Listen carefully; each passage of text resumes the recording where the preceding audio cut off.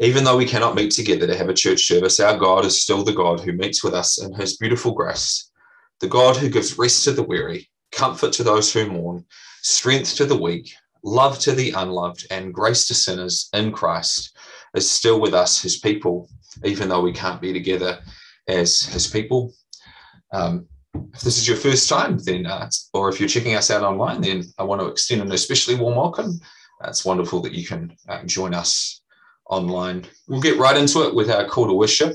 If I could ask you to open your Bibles to Psalm 147. Psalm 147 is our call to worship for this evening, and I'll give you a moment to turn there.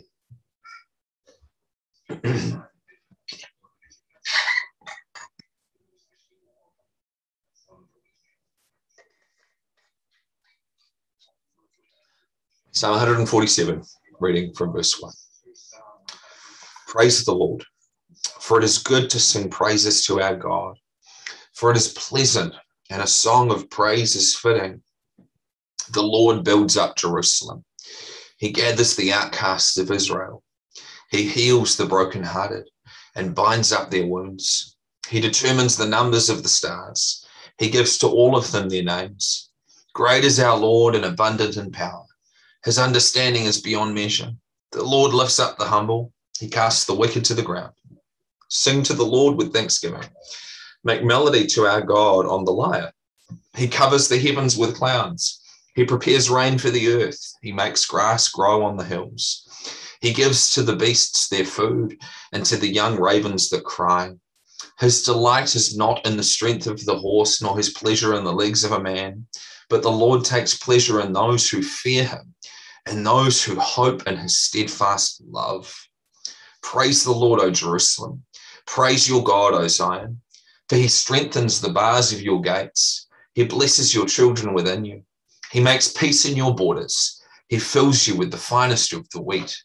He sends at his command to the earth. His word runs swiftly. He gives snow like wool. He scatters frost like ashes. He hurls down his crystals of ice like crumbs. Who can stand before his cold? He sends out his word and melts them. He makes his wind blow and the waters flow. He declares his word to Jacob, his statutes and rules to Israel. He has not dealt thus with any other nation. They do not know his rules. Praise the Lord. Let's respond now to the reading of God's word with song. Let us sing together. The church is one foundation.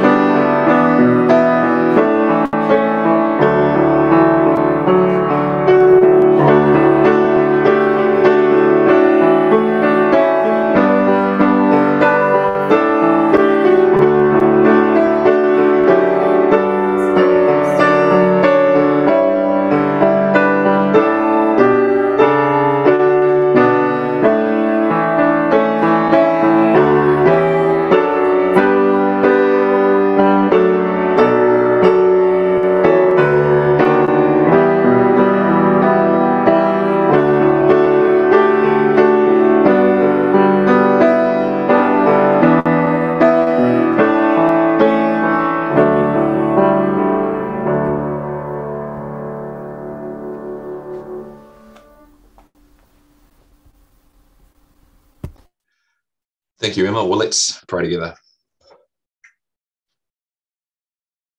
Our Heavenly Father, we thank you for this evening. We thank you for your grace in reaching us through this technology with your word to hear from you, to be shepherded by you, to be fed by you. Father, we thank you that you feed us with the finest of the wheat. And we thank you that you do that not only physically, but spiritually. You feed us with fat and rich food. And you do so through your word. Father, we pray that you would feed us this evening. We pray that, Father, you would feed us with the truth. We thank you that it's through knowing the truth that we are set free. We thank you that it's through knowing the truth that we are given joy and peace. And so, Father, we pray that we would come to know the truth in an even deeper way this evening. We pray that, Father, you would correct us where we have wrong thoughts about you, wrong thoughts about the Christian life. And that, Father, in their place, you would put true thoughts, true thoughts about you, true thoughts about the Christian life, true thoughts about how we should live in this life, in this fallen world. Father, lead us in paths of righteousness for your name's sake. Grow us in our fear of you. May we be made more humble as a result of your work this evening through your word. May we be made more happy and more holy as well. Father, we pray again for our government. We pray that you would give them wisdom. We pray that you would continue to work in this difficult situation to bring about your will to glorify your name and to bless your people. Father, we pray for um, the suffering in our midst and the sick. We pray, Father, that even now they would know your comfort and that through your word this evening they would be brought to um, trust more firmly and that all of us would be brought to trust more firmly in you and your love, your love that knows no bounds, your love from which we cannot be separated your love that knows no height nor depth nor breadth. Father, we thank you for your love. And we thank you that in your love, you sent your Son to die for our sin. May we be refreshed in him this evening. In Jesus' name, amen. So before we turn to the text for this evening, I will sing one more hymn, When I Survey the Wondrous Cross.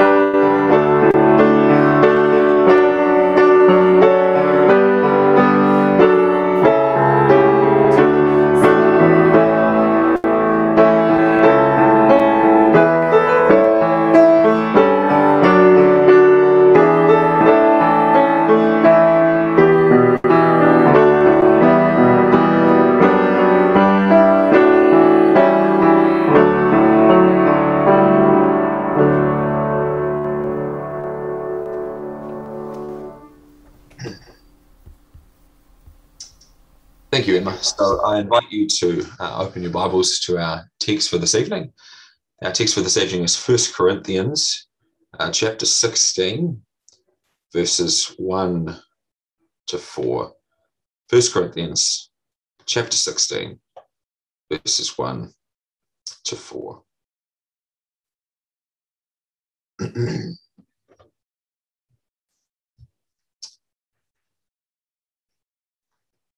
1 Corinthians 16, 1 to 4. This is the word of the Lord. Now, concerning the collection for the saints, as I directed the churches of Galatia, so you also are to do. On the first day of every week, each of you is to put something aside and store it up as he may prosper, so that there will be no collecting when I come. And when I arrive, I will send those whom you accredit by letter to carry your gift to Jerusalem. If it seems advisable that I should go also, they will accompany me. Grass withers, the flower fades, but the word of the Lord remains forever. Before we turn to the Lord in the text, let's turn to the Lord in prayer. Let's pray together. Heavenly Father, we thank you for your word. We thank you that each word in it is inspired by you for our good and your glory. We thank you that you have given us your word, every single part of it, to instruct us, to teach us, to minister your grace, that you might be glorified and we might be blessed. So, Father, do that this evening through this text. Open our eyes to behold wonderful things in it. Unite our hearts to fear your name. Feed us with fat and rich food, food that is needful to us, and food that is wonderful today. Father, bless us this evening. Shepherd us. In Jesus' name, amen. I wonder if you've ever had this experience. You're in conversation with someone, a fellow Christian, could be about anything, but the person uses this line God told me dot, dot, dot. Has that ever happened to you? Someone tells you, God told me I should marry her. Someone tells you, God told me I should study that. Someone tells you, God told me I should move there. Someone tells you, God told me I should say that. Someone says to you, God told me I should change church. God told me. God gave me a direct message. A lot of Christians speak like that. Pentecostals, Baptists, Anglicans, Reformed. It's not just certain Christians who use the language of God told me.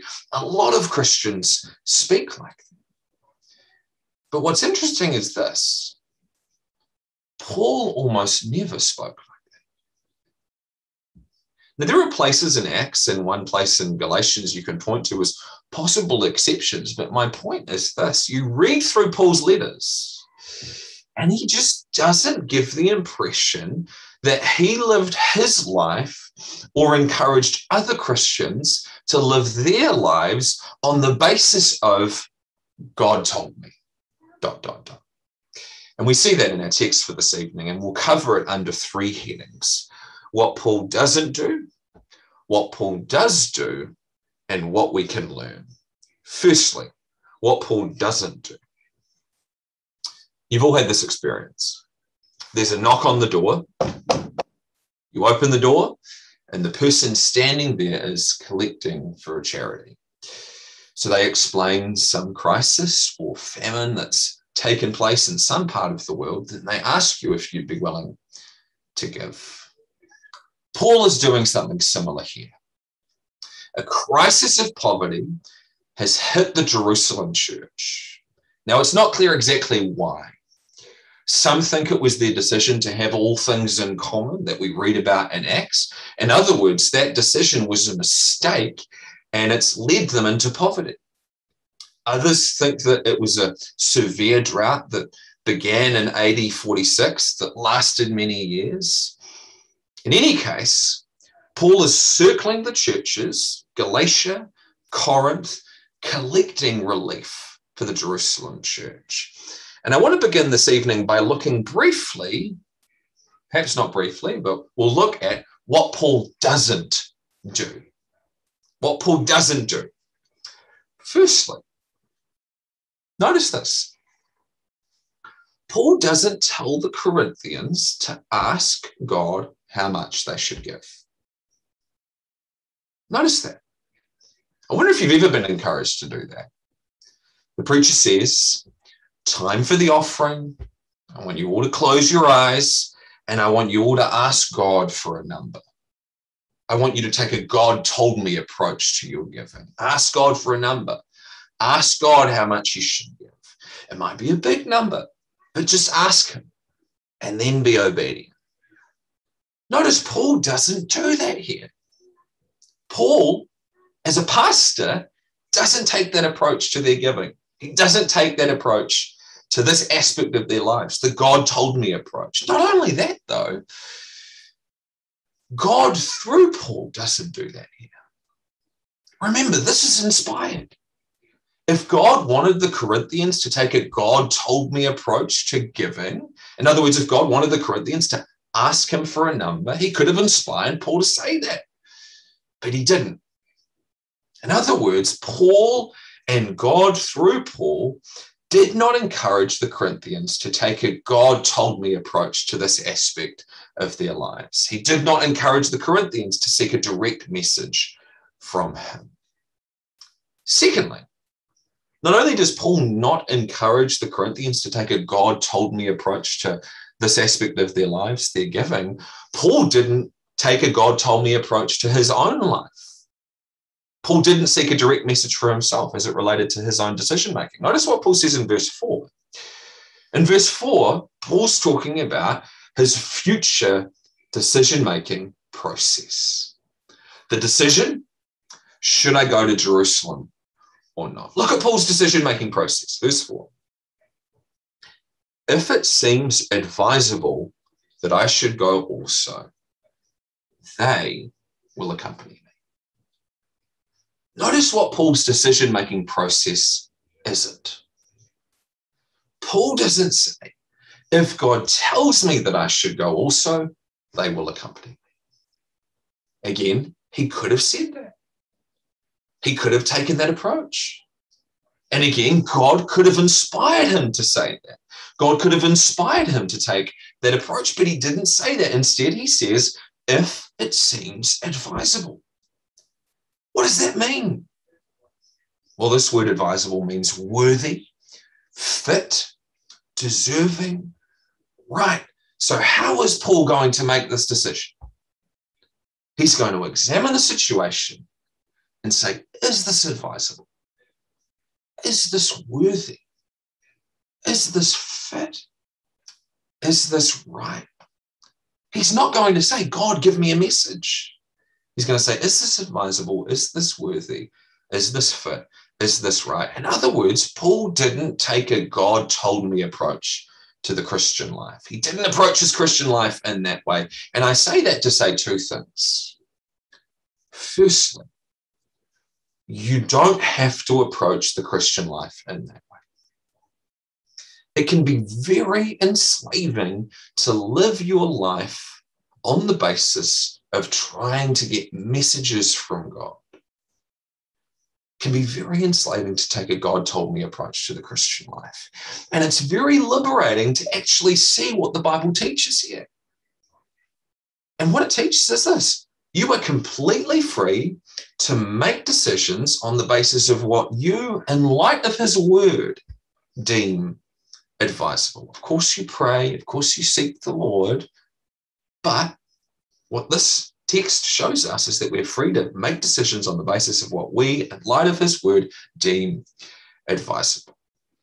And we seek the Lord and his word in that regard. But secondly, not only don't you have to approach the Christian life in this way, in terms of the God told me approach, you shouldn't approach the Christian life in this way.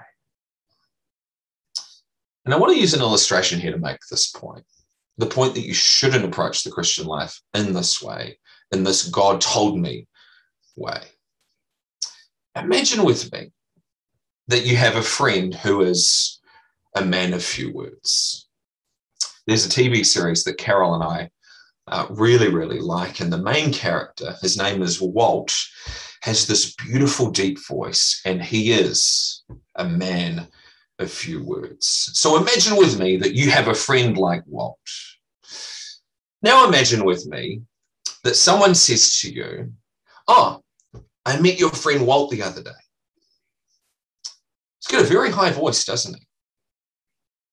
And he's very chatty, isn't he? I mean, he just talked and talked and talked and talked. Now, what do you say to that person? You say, well, whoever you were talking to, it definitely wasn't Walt. It definitely wasn't my friend because he doesn't speak like that. He's not really talkative. He doesn't have a high voice. You would say he doesn't speak like that. Whoever you met, that's not him. This is the same. If the God revealed in the Bible does not ordinarily lead his people by direct private messages, it should trouble you if you ordinarily yourself lead your life by direct private messages. If the God revealed in the Bible does not ordinarily speak to his people in a still small voice in their hearts, it should trouble you if the God you serve ordinarily speaks to you in a still small voice in your heart. And I say that to say this I am convinced that many Christians are going to come face to face with the God of the Bible at the end of time and realize that what they took to be the voice of God was in reality something else. So that's our first heading what Paul doesn't do. Now, our second heading what Paul does do. I think there's one word to describe what Paul does do here, and it's the word wise. What I mean is, as you examine Paul's words here, as I did preparing for this, his thinking, the way he plans, what he directs the Corinthians to do, how he communicates, you see from multiple angles profound wisdom. Firstly, Paul is fair. Verse 1. Notice Paul doesn't unfairly burden one church. He says, as I directed the churches of Galatia. And there's wisdom here. There's wisdom here. There's wisdom here in sharing out the load. There's wisdom in not unfairly burdening one party, but in sharing the burden between many. Secondly, Paul is clear. Notice that Paul tells the Corinthians about this. So he's not just fair, he makes it clear that he's fair. Let's say Paul was fair. So he directed the Galatians as well. He, he didn't unfairly burden one church, but he shared the burden out among many. But let's say he didn't tell the Corinthians about that. So he shared the burden out with the Galatian church as well, but he doesn't tell the Corinthians. What might the Corinthians feel?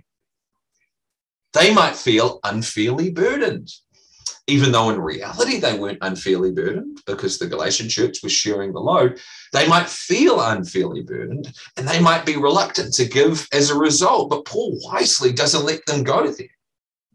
Instead, he's clear. And there's wisdom here too, isn't there? There's wisdom in communicating clearly.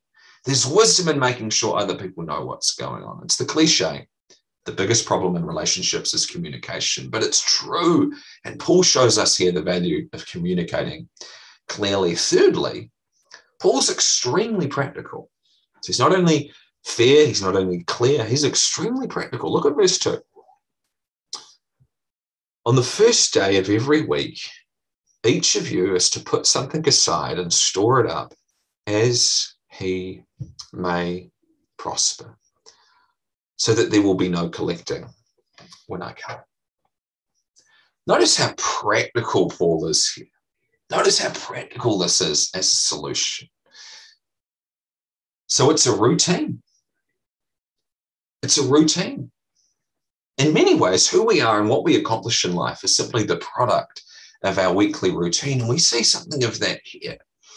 Paul wants the Corinthians to be a giving church. And how does he pursue that? He doesn't pursue it through setting a lofty goal, but through creating a basic routine. He says, first day of every week, this is what you should do. You should put something aside. It's a routine. I read this recently in terms of routines. You do not rise to the level of your goals, you fall to the level of your systems. And there's wisdom in that. If we want to get somewhere in a year's time, whether it's being more generous with our money, more gentle with others, more knowledgeable, whatever it is, we get there not through lofty goals, but by God's grace through basic routine. And we see some of that here. Following on from that, because it's a routine, it's both easy and effective. What's easier? Giving a large amount of money once or a smaller amount of money regularly? The second is easier, isn't it? Not only that, it's more effective. And you probably know this from experience. Think of charitable giving. Go back to what I said earlier. Someone knocks on your door. Give me $100 for said charity. You'll probably say no. But the same person says $2 a week. You'll probably say, oh, why not? 10 years later, probably forgotten all about that automatic payment. You've given not $100, but $1,000. And again, this reinforces the value of routine. It works because it's both easy relative to trying to seek lofty goals and effective. It actually gets you to achieve those goals. Not only that, though, in terms of the wisdom here, and this is really practical, it's safe. It's safe. What Paul advises here it's not only easy and effective, it's also safe. Why is it the first day of the week that Paul selects? Well, I think the answer is that the money was put into a common treasury, which meant the money was probably far safer than it would have been if it was stored in people's houses. So I say all that to, to say that we see wonderful practical wisdom here, don't we? Don't ever think that godliness is opposed to being wonderfully practical. Paul's a very godly man, and he strikes us here as what? Also being a very practical man to have around.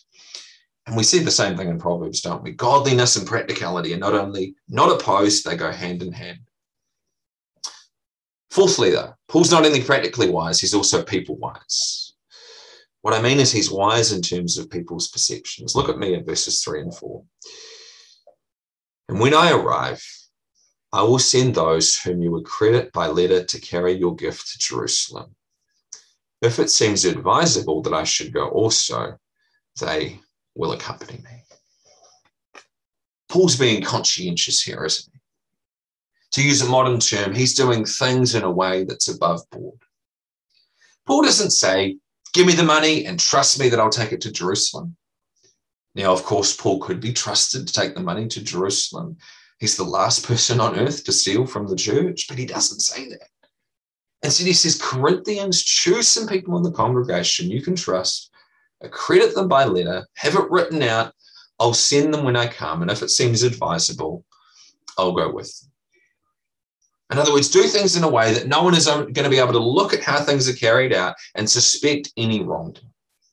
And again, there's wisdom here it's not only important to do the right thing, but to be seen to be doing the right thing. But then notice this as well. He's not just people wise in terms of people's perceptions, but also in terms of making connections. Look at this. Paul advises things to be conducted in such a way that a personal connection is formed between the Corinthian church and the Jerusalem church. He says, You need to go. Some of you need to go. Those of you who are accredited by letter needs to go. And think about how wonderful it would be for that personal connection between the churches to be established. By having the Corinthians deliver their gift in person, that is what Paul is establishing a personal connection. And again, there's wisdom here. Even if it's more inconvenient, even if it's more expensive, we should place a priority on doing things that creates in a way that creates a personal connection. Think of John's words I had much to write to you, but I would rather not write with pen and ink. I hope to see you soon, and we will talk face to face. So these are profoundly wise words in so many ways. They're fair, they're clear, they're practically wise, they're people wise, They're just filled with wisdom. Now, in terms of application, I want to move straight to our last heading what we can learn. What have we seen this evening? Well, we've seen that Paul very simply didn't take the God told me approach to the Christian life. Instead, what we've seen is profound wisdom on his part. And so, what can we learn from that? Well, we can learn that we shouldn't take the God told me approach to the Christian life. Instead, we should take the wisdom approach. What does Proverbs say? Proverbs doesn't say private direct messages about what to do are better than jewels. No, it says wisdom is better than jewels, and all that you may desire cannot compare with it. We see wisdom here in Paul. And if we want to be biblical, we shouldn't seek direct messages at, at every turn. We should seek wisdom at every turn. At every turn. As wisdom says in Proverbs 8, blessed is the one who listens to me, watching daily at my gates, waiting beside my doors. But as we close, I want to ask the question where does this wisdom come from? Where does this profound and profoundly practical wisdom, the wisdom we see in Paul, where does it come from? The reason I want to ask that is that there's a temptation with a sermon like this to say, okay, Paul was fair, Paul was clear, Paul was practically wise, Paul was people wise. I need to do those things too. I need that wisdom. Give me that wisdom. In fact, some are obsessed with gaining that kind of wisdom. In fact, some of the Corinthians were possibly obsessed with gaining that kind of wisdom. Remember, that was one of the things they were obsessed with wisdom, but they missed the boat, didn't they? And today, many Christians want practical wisdom. Give me practical wisdom. Give me something I can apply, something I can take away. And those takeaways are really helpful, but wisdom doesn't begin with those takeaways.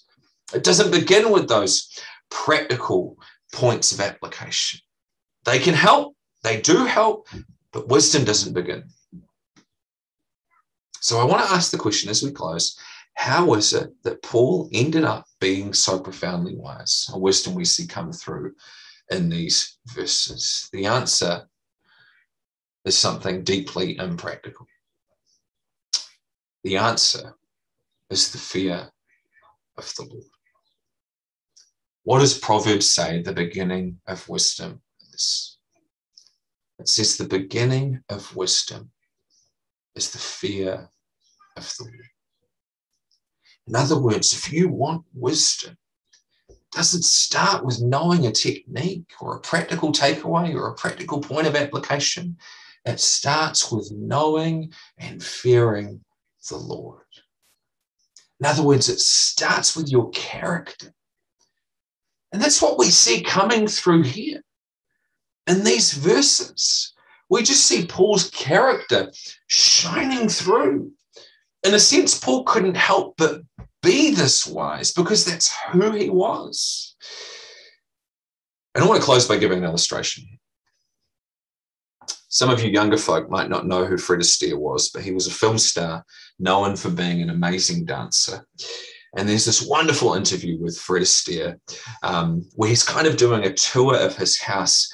And I remember sharing it with someone, and, and they made a wonderful comment.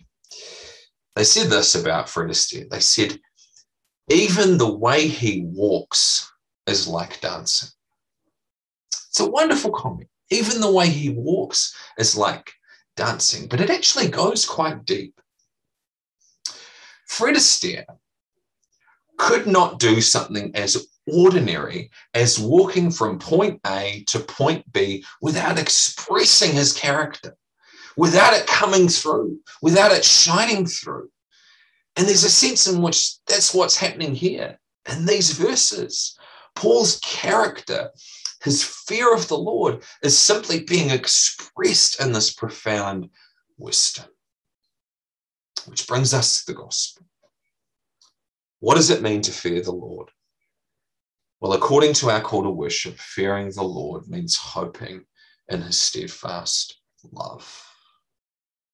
So if you want to be wise, practically wise, if you want to show the wisdom that Paul shows here, if you want to live well and give generously, the answer is to is not to live your life trying to get new messages from God and taking the God told me approach to the Christian life.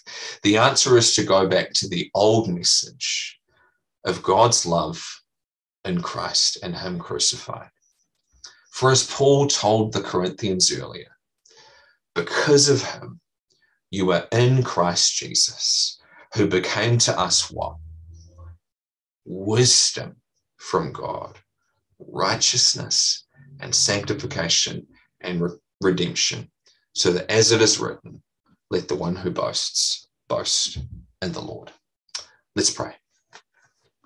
Our Heavenly Father, we pray that you would grow us in our fear of you.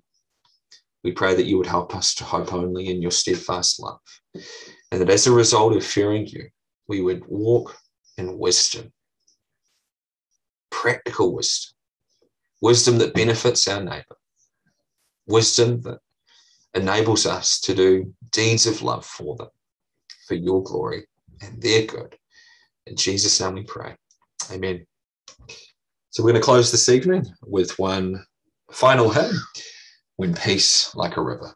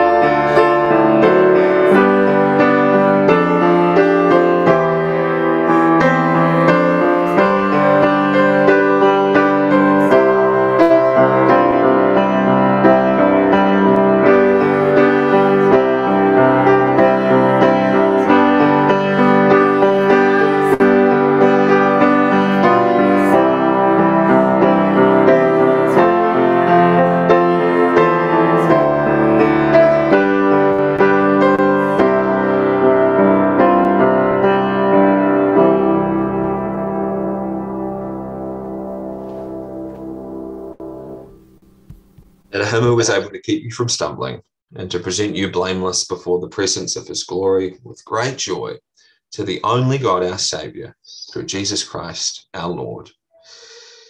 Be glory, majesty, dominion, and authority before all time, and now and forever. Amen.